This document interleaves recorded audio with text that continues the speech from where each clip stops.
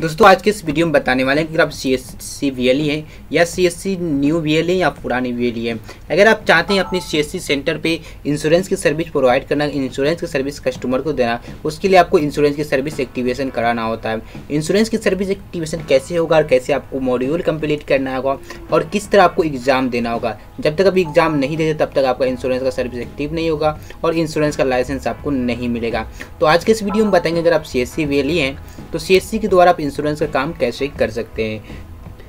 और कैसे तरह वो एग्ज़ाम देकर सर्टिफिकेट ले सकते हैं और अपनी दुकान पे कस्टमर को इंश्योरेंस की सुविधा प्रोवाइड कर सकते हैं? तो चलिए शुरू नमस्कार दोस्तों इस वीडियो को लाइक करें हमारे चैनल को सब्सक्राइब करें इस घंटी के आइकन को दबाएँ ऑल सेलेक्ट करें हमारी सभी वीडियो सबसे पहले देखने के लिए। करते हैं। यहाँ मैंने डिजिटल सेवा पोर्टल सीएससी को लॉगिन कर रखा और यहाँ पे इंश्योरेंस सर्विस है।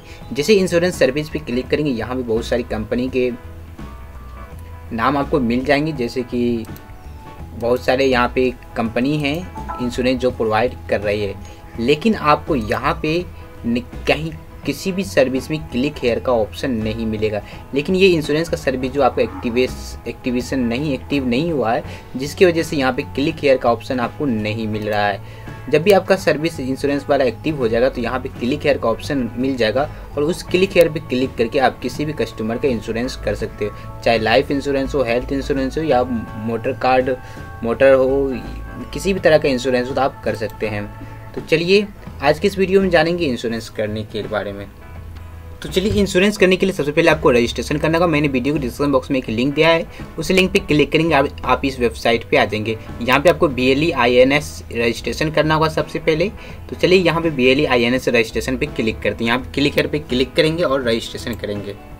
जैसे क्लिक हेयर पे क्लिक करेंगे यहाँ पे बोलेगा log in with digital Seva connect इस पर क्लिक करेंगे।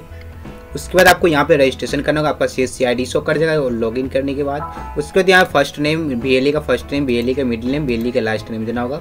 उसके बाद यहाँ फादर का फुल नेम देना होगा बी के फादर का और बी के मदर का फुल नेम आपको देना होगा। यहाँ पे भी अपना ईमेल आईडी देना होगा, एक मोबाइल नंबर देना होगा जो रजिस्टर होगा सी के साथ, वो यहाँ पे अपना डेट ऑफ़ बर्थ देंगी। उसके साथ साथ यहाँ को जेंडर सेलेक्ट करना होगा मेल या फीमेल वो सेलेक्ट करेंगे। उसके बाद यहाँ पे रिलीजन आपसे पूछा जाए किस धर्म की, वो सेलेक्ट करेंगे।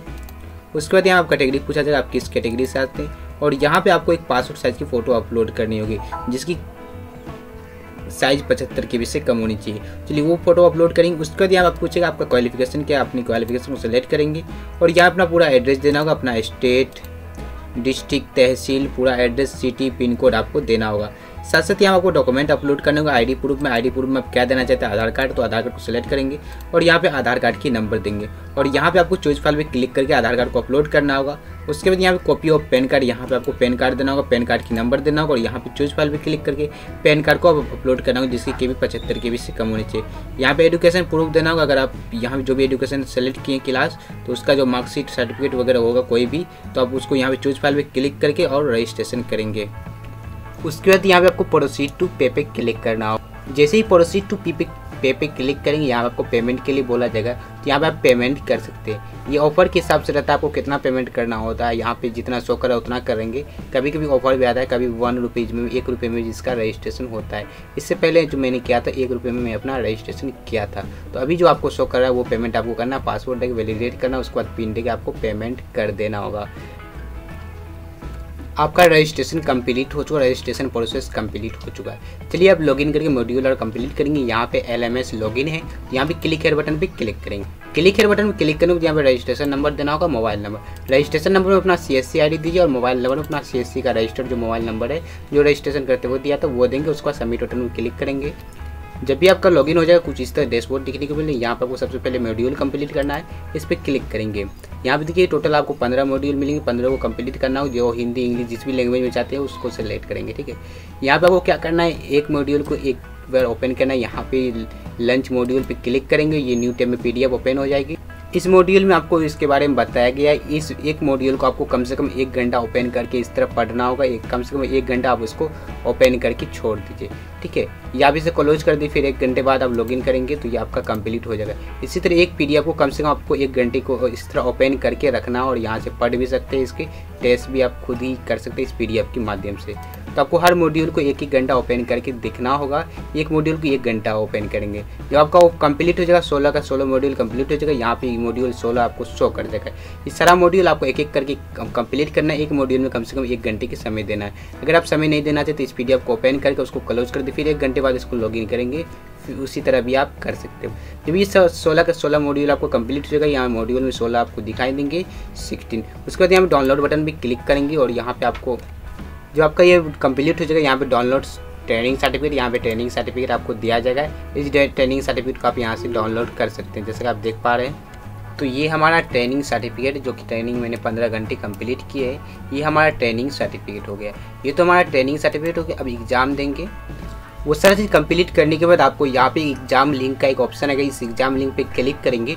उसके बाद यहाँ पे click here start your exam पे क्लिक करेंगे।